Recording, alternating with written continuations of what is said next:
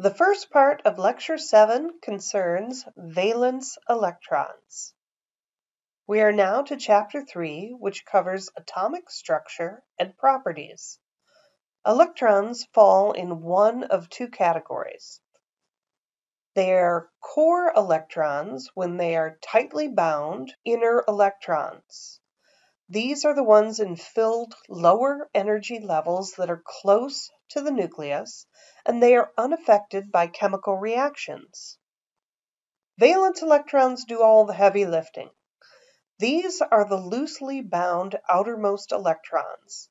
They are composed of the highest s electrons and electrons in partially filled levels. These electrons are involved in chemical bonding and reactions. So let's take boron as an example. Boron has five protons, and when it's neutral, it has five electrons. And I'm showing them here in their orbitals using the Schrodinger model. The core electrons in boron would be the 1s electrons. The valence electrons are the outermost s, so that would include 2s2, and any partially filled levels, so that would also include 2p1. So boron has three valence electrons. So going back to our periodic table, one of your vocabulary words in the past was main group elements. And now that you're familiar with the Schrodinger model, this involves the S and P blocks. So that would include columns 1 and 2 for period S and the last six columns for period P. So here is your valence electrons definition. This includes the outermost s electrons and all electrons in partially filled sublevels. For main group elements, this would be the last row with period S and period P electrons. So let's look at the valence configurations for select main group elements. Sodium is in the first column, and it has one valence electron, specifically the 3s1. Calcium is in the second column on the periodic table, and it has two valence electrons, specifically 4s2. If we move over to the S block on the periodic table, that is sometimes called period 3a. There are two ways the columns in the periodic table are labeled. You might go from 1 through 18, or sometimes there's an A designation for main group elements and a B designation for the other elements. So when I speak of the P block being 3A, I am speaking of this column right here. So in this 3A column, Aluminium is an example. Aluminium has three valence electrons, specifically 3s2, 3p1. Tin would be in the 4a column of the periodic table, and it has four valence electrons, specifically 5s2, 5p2. If I show you tin on the periodic table, you notice that its full electron configuration is krypton, followed by 5s2, 4d10, 5p2. Notice we have left out the 4d10 electrons in the valence electron configuration because that sublevel is full. So if it's in column 4, like tin, it has four valence electrons. So I'm sure at this point you can guess the pattern. Something in column 5 like nitrogen, has five valence electrons. Something in column 6, like selenium, has six valence electrons. And something in column 7, like iodine, has seven valence electrons. Noble gases do not typically bond to anything until you get to the heavier ones, so there's really no description of valence electrons for noble gases. They have none and an example here is argon. So remember, the number of valence electrons is equal to the main group column number. What about transition metals?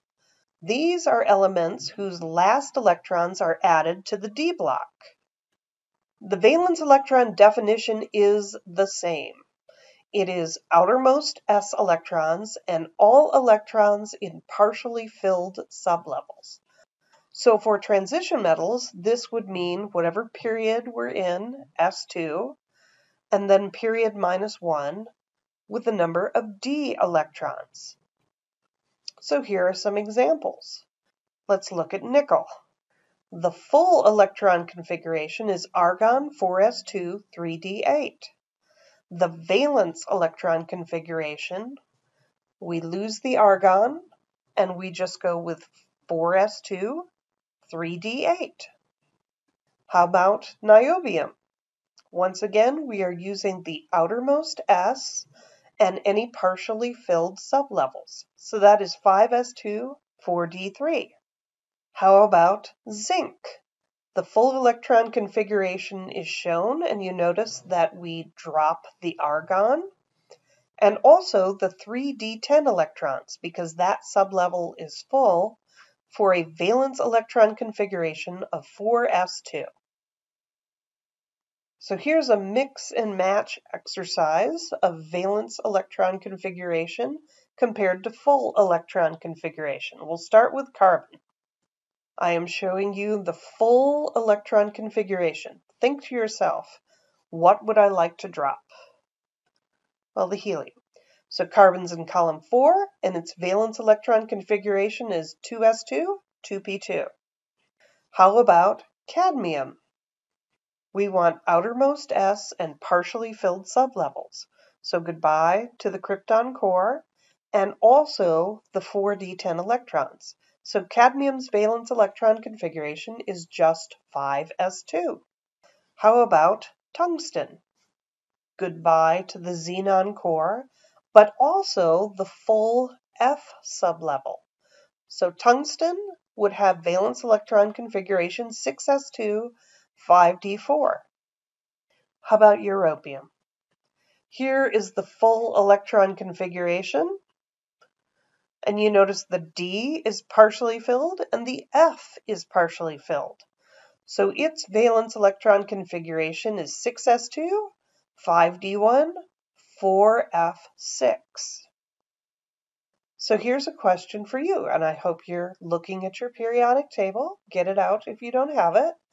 Please give the full and valence electron configurations for titanium. Here is another example for you. What are the full and valence electron configurations for selenium? This question asks how many core and valence electrons are in a bismuth atom, which is neutral. Now certainly you can count these up, but remember that your electrons need to add up to the number of protons when we speak of a neutral atom. So there would be a sum of 83 electrons. So I believe it's easiest to find bismuth on the periodic table, find the number of valence electrons, and then take 83 minus the valence to give yourself the core electrons. What about those irregular elements in the 3D block?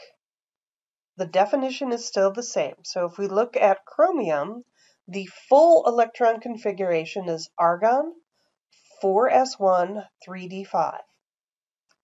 If we lose the argon core, chromium behaves as if it has six valence electrons in the configuration 4s1 3d5. Shown here is copper's full electron configuration. Now I know for zinc the 3d10 was dropped because it is a filled sublevel.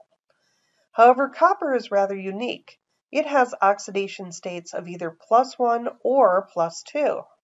So its valence electron configuration retains the 3d10. I am not planning to test you on irregular electron configurations or valence configurations, but I do want you to be aware of these things as you may encounter them in homework and in other science that you perform. So valence electrons are important because they affect the behavior of different groups of elements.